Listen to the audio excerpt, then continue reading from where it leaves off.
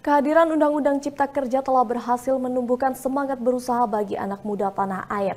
Hal itu dibuktikan dengan terbitnya 41,6 persen dari 2 juta nomor induk berusaha hingga 25 September 2022.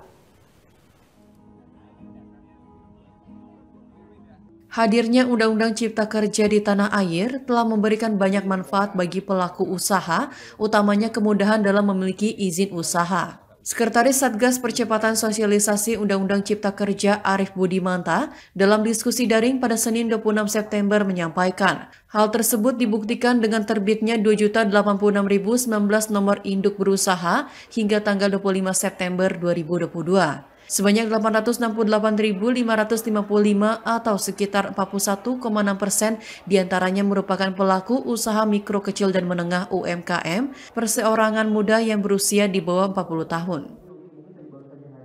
Jadi mereka adalah pertama di golongan usia yang produktif, kemudian yang kedua juga secara usia juga muda ya, boleh dikatakan pengusaha muda. Dan ini menunjukkan apa ya, menunjukkan bahwa semangat kewirausahaan itu terus berkembang ya, terus tumbuh dan itu difasilitasi dengan adanya Undang-Undang Cipta uh, Kerja ini.